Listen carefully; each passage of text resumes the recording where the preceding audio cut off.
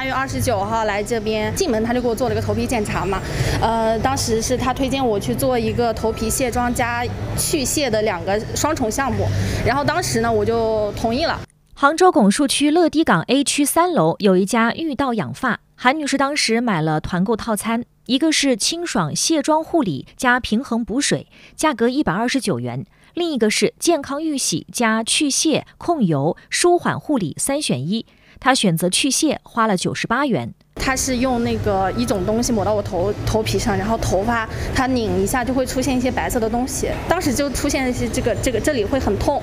呃，我想的你抹的是什么？不知道，就是他们一种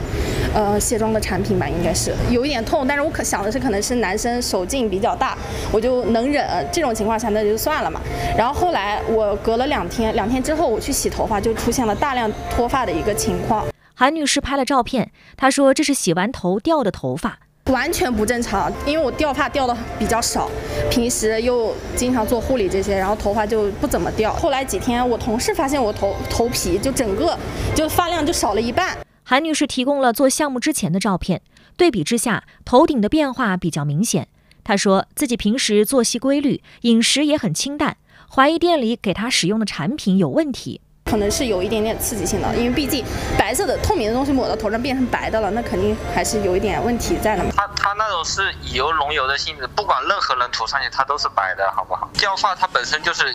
跟油脂、跟你平时的清洁的洗护习惯、身体状况跟精神状况有关嘛。它其实本身掉发其实就只有这几种原因，所以那天你跟我说的时候，我是不是？那你凭什么就直接说是我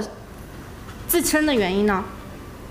我也跟你说过，我并没有这样的情况出现过，曾经并没有。我是在你家做完之后两天之后，我就出现了掉发，然后后面开始越掉越多，包括到现在为止还在掉，我已经掉了超过一半的头发了。我们产品肯定不会导致这种掉发的这种原因出现，因为我们的产品它清洁都是相对比较温和的。韩女士说，出现脱发后，她在平台上给门店打了一颗星，并写了一段评价，描述自己的情况，表示如果不是平台最低只能给一颗星，连一星都不准备给你们。没想到这个店家就在评论里回复我，是说我脑袋、脑子和精神啊，说我精神和身体出了问题，我就真的很生气。当时我本来就是想给个差评就完事儿，你店家认了这个差评，我后面有别人就是想去他家做项目的人可以看一下，看到我这条评论，给大家避个雷也可以。我美团上评论的是不是我说他这种是不是导致的一种原因可能会出现这种，我也没有说你。有病啊什么？然后我也说了，你出了问题，我们也是。那我也跟你说过，我这方面并没有问题。你问你是从哪知道我是这里有问题的呢？我现在说什么都不信，你们你们只相信你们自己呗。我现在是休止期脱发，最少要脱三到六个月。结果你们还在说是我的问题。九月十三号，韩女士去医院做了皮肤镜检查，报告意见是皮肤镜下倾向于头皮皮炎伴休止期脱发。医生的建议就是说，后续还得花大量时间去养，所以我只要求他们赔偿我到现在为止的费用，看病的费用，然后再退退还我这个做项目的费用，再补偿我就长发剪成短发的这个费用就完了。结果没想到，我觉得已经很合理了，并没有并没有扯出什么什么精神损失费之类的，我并没有提出。你这几笔费用加起来有多少？就是两千三百多。然后再加上我请假扣的工资，可能有个三百左，三百多一点，但是我只给他们写了三百块钱。赔偿那个东西好像嗯没有，然后他是跟我们另外一个零，就是公司的人沟通的。韩女士说，之前有位谭经理主动加她微信沟通赔偿的事情，提出费用一人一半，但最后都没能达成一致。现场联系对方没有人接，记者发送了信息，后来有位廖经理打来了电话。他这种头皮头发状况的话，其实来我们门店就是体验之前，因为我们门店也给他做了一个检测嘛，头皮是有一些状况存在的。嗯，什么状况？他现在一个是头皮有一些就是敏感的这种情况，第二个就是，